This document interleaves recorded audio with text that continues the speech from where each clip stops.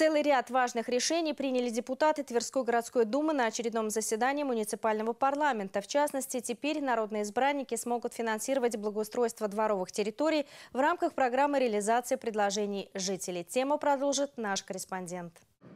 Как известно, депутаты имеют возможность распределить средства в размере 1 миллиона рублей на решение текущих проблем в округе. Раньше деньги можно было направить лишь на ремонт и благоустройство муниципального имущества или общественного пространства. После принятия на федеральном и местном уровнях положения об инициативном бюджетировании у депутатов появится больше возможностей по распоряжению финансами.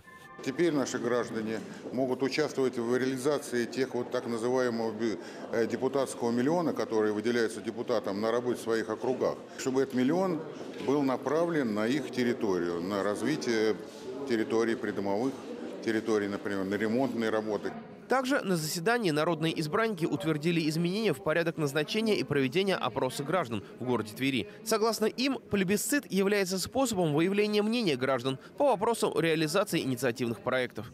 Кроме того, депутаты обсудили режим работы парламента в течение ближайшего года. Ведь ряд народных избранников по итогам минувших выборов переходит на работу в законодательное собрание. По партиям «Справедливая Россия» ЛДПР это решает партия. По партии «Единая Россия» у нас Дмитрий Юрьевич Гоменюк переходит в законодательное собрание депутатом, Сергей Михайлович Аксенов и переходит э, Сулин Максим Удалевич. Несколько освободившихся мест в городском законодательном органе власти займут депутаты, которые шли на прошлых выборах по партийным спискам. Что касается парламентариев, которые попали в Думу по одномандатным округам, то их места пока будут вакантными до следующих выборов. Они состоятся в 2022 году.